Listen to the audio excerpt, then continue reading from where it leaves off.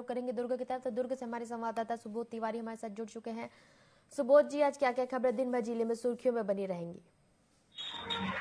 सिमरन जी, लोकसभा चुनाव की तैयारी को लेकर भारतीय जनता पार्टी और कांग्रेस पार्टी दोनों ही लग चुके हैं। अगर भारतीय जनता पार्टी के बारे में बात करें तो प्रधानमंत्री पीएम मोदी के वर्चुअल सम्मेलन के तहत यानी कि नव मतदाता सम्मेलन के तहत पाँच हज़ार से भी ज़्यादा नव मतदाताओं से वो रूबरू होंगे और साथ ही जो स्कूल और कॉलेज के जो छात्र हैं जो जिन्होंने अभी 18 साल ही पूरा किया है और इस लोकसभा चुनाव में अपने मताधिकार का प्रयोग कर पाएँगे तो ऐसे लोगों को रिझाने के लिए भारतीय जनता पार्टी ने एक मुहिम चला रखी है जिसके तहत वे उन्हें केंद्र सरकार की योजनाओं और प्रदेश सरकार के, के प्रक्रियाओं यानी कि काम करने के तौर तरीके के बारे में बताएँगे। दूसरी बड़ी बात है कि कांग्रेस पार्टी ने एक गणतंत्र यात्रा का आयोजन किया किया है, जिसमें पूर्व मुख्यमंत्री सीएम भूपेश बघेल महासमुंद के भंवरपुर से उसमें शामिल होंगे। उस गणतंत्र यात्रा के दौरान यह बताया जाएगा कि किस तरीके से भारतीय जनता पार्टी लोक लुभाने वादों को को लेकर राज्य में काबिज तो हो जाती है, मगर वो वादे पूरे नहीं करती। एक बड़ी बात है, बड़ा प्रयास है दोनों ही राजनीतिक पार्टियों के द्वारा। अब अगर बात करें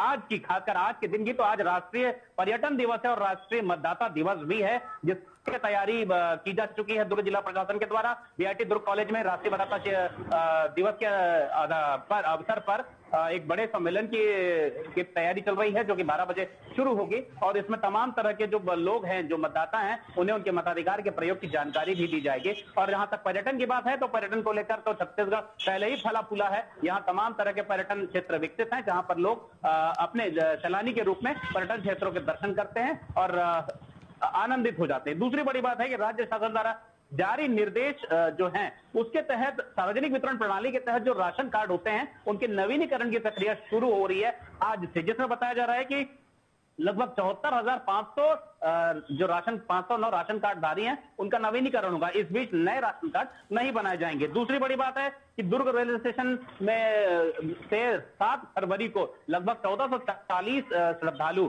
अयोध्या अयोध्या में राम मंदिर दर्शन करने जाएँगे। इसकी तैयारी भारतीय जनता पार्टी ने कर ली है। इसके पहले उन्हें पंजीयन कराना आवश्यक होगा बीजेपी कार्यालय में पहुंचकर। वे भाजपा द्वारा नियुक्त जो पदाधिकारी हैं, उनमें, उनके पास अपना नाम, पता, आधार कार्ड वगैरह जमा करेंगे। और बहुत ही कम शुल्क में बहुत ही कम शुल्क में, यानी कि मात्र चौदह सौ रुपए शुल्क में वे अयोध्या दर्शन करके आएँगे, साथ ही आसपास के मंदिरों का भी भ्रमण कर पाएँगे। यह चार दिनों की यात्रा होगी सात, आठ, नौ, दस, उसके बाद उनतीस तारीख को दूसरी जो यात्रा है वो रवाना होगी। और तीसरी बात करें विश्वविद्यालय अनुदान आयोग की। सिमरन जी, बड़ी बात है कि विश्वविद्यालय अनुदान आयोग के द्वारा एक रिपोर्ट जारी किया गया है, जिनके तहत बताया जा रहा है कि जो हेमचंद विश्वविद्यालय दुर्ग का है, उसे डिफॉल्टर घोषित कर दिया गया है। लेकिन अकेला हेमचंद विश्वविद्यालय डिफॉल्टर नहीं है, बल्कि कामधेनु विश्वविद्यालय भी ऐसे छत्तीसगढ़ के 11 विश्वविद्यालय हैं, जिन्होंने लोकायुक्त की नियुक्ति विश्वविद्यालय अनुदान आयोग के निर्देश के बाद भी नहीं की है, जबकि जनवरी तक, जनवरी के मध्य मध्य दिनों तक इन्हें लोकायुक्त की नियुक्ति कर ली जानी चाहिए थी। जी सिमरन जी, सुबोध जी, तमाम जानकारियों के लिए आपका धन्यवाद।